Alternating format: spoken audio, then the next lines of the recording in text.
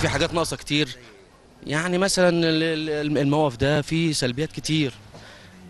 عايز يتعمل عايز يتوضب عايز إضاءة عايز حراسة.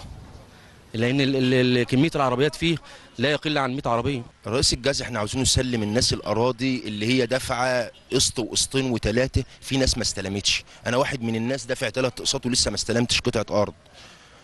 وعاوزين نظافه في المدينة وعاوزين نسلم الناس الأراضي دي. لناس مدينه السادات عاوزين يكتر لنا في الشقق تمام ويشغل الشباب والطرق كلها تنعدل والمرافق كلها تتظبط. ناقصها عناصر جذب للناس تيجي تقعد فيها ناقصها فرص عمل ناقصها مصانع كتير ما فيش اهتمام بينها من الحكومة قوي. فيها مصانع كتير وفيها أحياء سكنية كتير.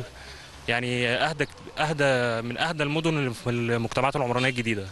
غير اكتوبر غير الشيخ زايد غير 15 مايو. إحنا عايزين مية نظيفة. عشان أنا رخر برضو ما اجيش اكلف الدولة آه، علاج الفيروس ولا علاج مش عارف إيه كل تكلفة. وهي علاجها بسيط جدا. صح؟ معالجة المية. مدينة السادات فيها كتلة سكنية كبيرة جدا جدا من جميع البلاد.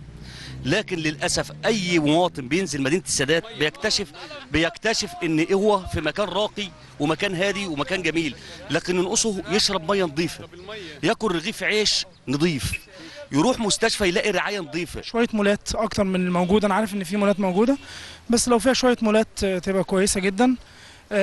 شوية نوادي آه، اجتماعية علشان آه، الأطفال والأهالي والأسر اللي موجودة في المدينة. مدينة ناقصها برضو بعض الخدمات بالذات الخدمات الطبية وعندنا برضو الإسعافات الأولية في المستشفيات الأجهزة آه، عندنا برضو عجز كبير في أجهزة المستشفى العام.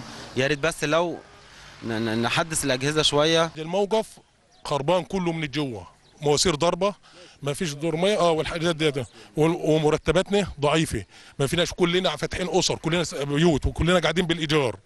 بالكامل يعني نصنا يمكن كده قاعد بالإيجار. مرتباتنا لا تتعدى ال 1000 جنيه.